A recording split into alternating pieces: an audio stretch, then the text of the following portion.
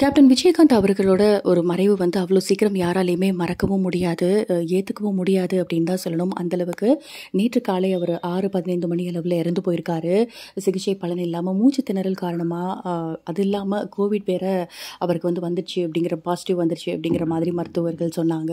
அவர் இறந்து போன ஒரு விஷயம் வந்து யாராலையும் அவ்வளோ சீக்கிரம் வந்து ஏற்றுக்க முடியல. மக்கள் எல்லாருமே அவரோட அலுவலகத்துக்கு முன்னாடி மக்கள் வெள்ளமாக திரண்டு அழுது கதறி கதறிட்டு இருக்காங்க.